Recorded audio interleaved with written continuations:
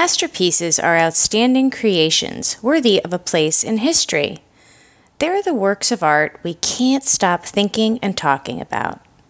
Art's meant to make a difference. These are pieces that continue to do so long after the artist is gone. I'm Lady K-Flo. This is where I give you my quick takes on art pieces I call the masters.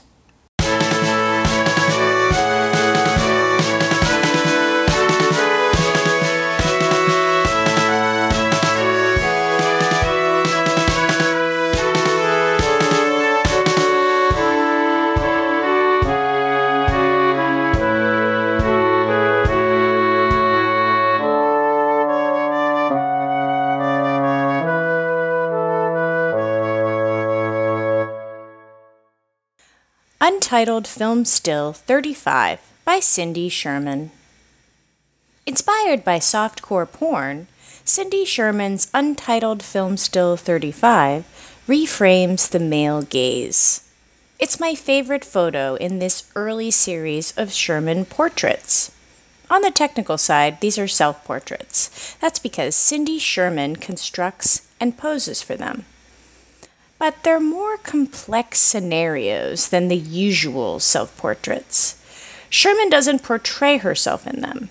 Instead, she brings an element of play to fine art photography.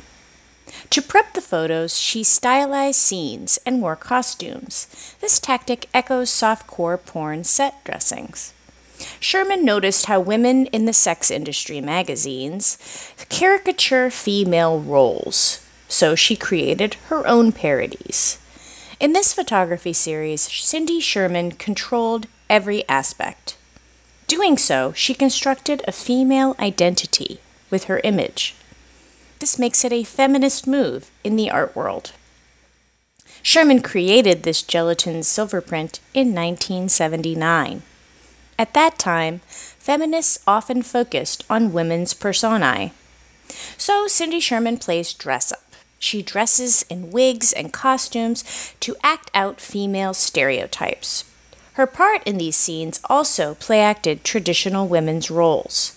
They touch on familiar film characterizations. But Sherman used generic imagery rather than referring to a specific movie. Her housekeeper costume in Untitled Film Still 35 could be for any such character. One certainty it's 100% feminine. And she looks peeved. After the 70 black and white shots in this first Sherman Untitled film series, she shifted into color. But the theme hits harder in these early prints. They speak to the limits of binary thinking in media. She presents women characters in ways that seem typical of movies and TV. The context of fine art photography then shows the absurdity of these portrayals. This often comes through in Cindy Sherman's facial expression. Untitled Film Still 35 gives us an iconic example. The artist is pissed. It's all over her face. Let's go back to softcore porn, her inspiration for the series. In those pictures, you might find a woman dressed like her, in porn stories, women actors often play out gender roles. The softcore photos that inspired this series did it with costumes. Sherman references this. She even wears wigs. Expressions and positions also work the same way in softcore porn shots as they do in Cindy Sherman's series. We know it's porn because of the way that the women pose their bodies and faces. The costumes represent a cultural relic. That's why in Untitled Film Still 35, Sherman's expression and position are also where we find meaning in the piece. She directs her body away from view, so we see the costume, but not much of her body in it.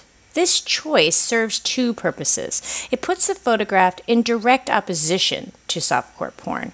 Also, this pose serves to hide her hand clicking the button to take the picture.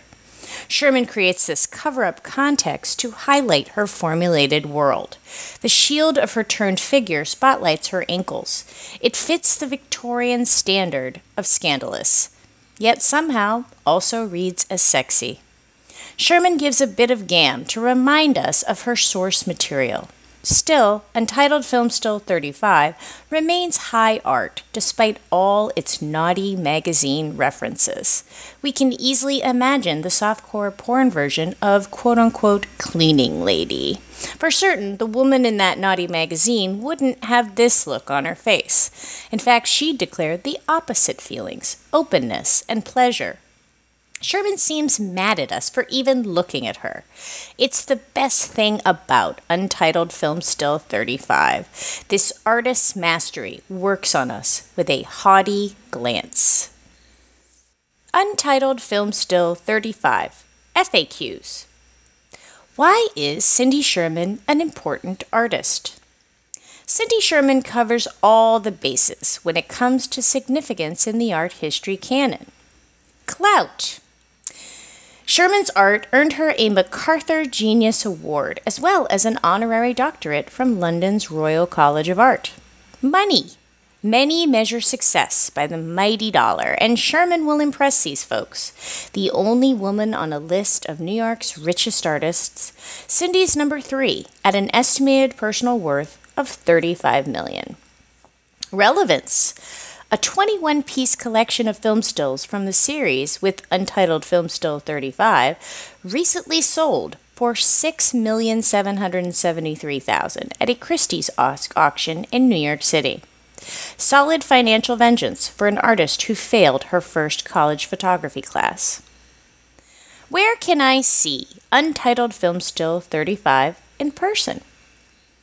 Untitled Film Still 35 lives at the Whitney Museum of Art in New York City right now, but it's also traveled all over the world in various exhibits. This included a major retrospective at the Museum of Modern Art entitled Cindy Sherman. That exhibit went on to show at other esteemed museums and included more than 170 photographs. Why does Cindy Sherman look so familiar? There are three reasons this question makes perfect sense. Number one, She's a celebrity.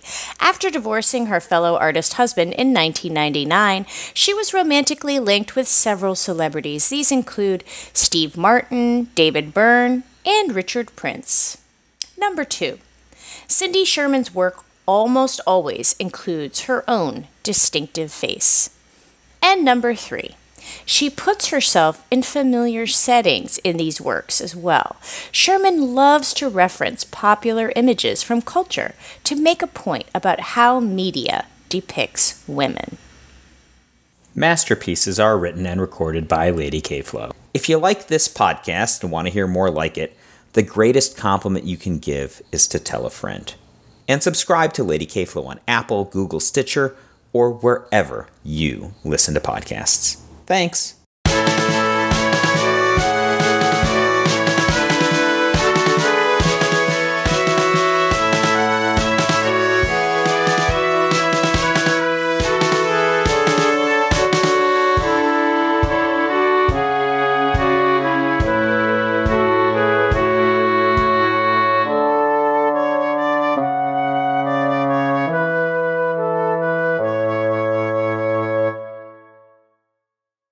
Visit ladykflo.com for all the goods. That's L A D Y K F L O.com.